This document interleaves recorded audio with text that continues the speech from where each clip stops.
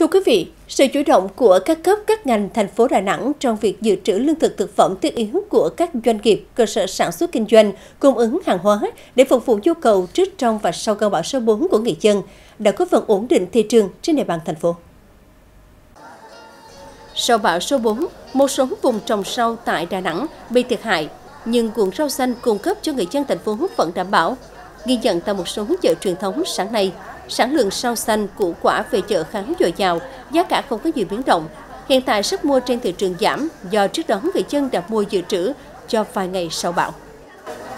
Bão xong là cái nguồn hàng à, cung cấp thì đủ, cũng đủ đó, tạm đủ đó, nhưng mà à, đắt xí là cải xanh thôi, cải xanh hơi đắt.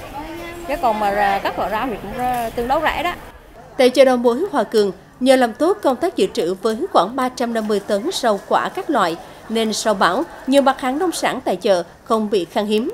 Để đảm bảo nguồn cung được liên tục, một số loại nông sản từ Đà Lạt và Gia Lai cũng được tăng cường về chợ với khoảng 140 đến 150 tấn trên một ngày. Ngoài chợ đầu mối về cái rau củ thì vẫn còn nhiều, ờ, sức mua thì có giảm hơn. Như vậy thì cái giá cả thì nó nó nó cũng tăng không đáng kể. Ờ, chỉ ờ, từ 2 đến 3 ngàn một số mặt hàng một ký. Sau bão, nhóm thực phẩm tươi sống cũng được cung ứng đầy đủ. Theo ghi nhận, lượng cá biển về chợ khá phong phú, cả bình ổn. Là hàng cũng bình thường rồi, chứ thương gai họ bạn như rồi, chứ bạo xong hàng bạn như vậy thôi, hàng cũng có cái chi lên hết. Ví dụ người ta mà bạn mà lên giá thì mình đi hàng khác mình mua. Bởi vì giờ chờ người ta bạn buôn rất nhiều, là mình à, mua chỗ này được mình mua chỗ khác. Thậm chí giờ giờ bây giờ là bán giá rẻ hơn nữa. Đó, mình mua hạ mình bán hạ. Mình mua cao mình bán cao. Chứ không bao giờ mà cô như ờ, bác giá này vì người dân ở đây là cô như ờ, toàn là dân lao động hết. Mà mình bán giá cao thì mình mất mối. Đó mà dọc hơi bên đường ờ, lề họ bán rất nhiều. Mà mình bán mát là họ không vô. Mà chợ như thế này là chợ rất rất là ít người.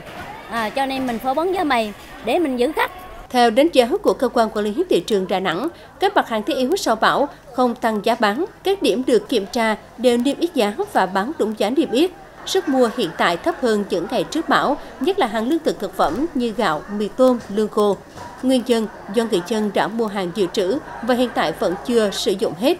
Trước đó thực hiện chỉ đạo của Ủy ban nhân dân thành phố, Sở Công Thương đã chủ động kế hoạch dự trữ hàng hóa thiết yếu, phòng chống thiên tai theo phương châm 4 tại chỗ, Tổng giá trị hàng hóa dự trữ tại các đơn vị bán lẻ và hệ thống các chợ trên toàn thành phố là khoảng 83 tỷ đồng.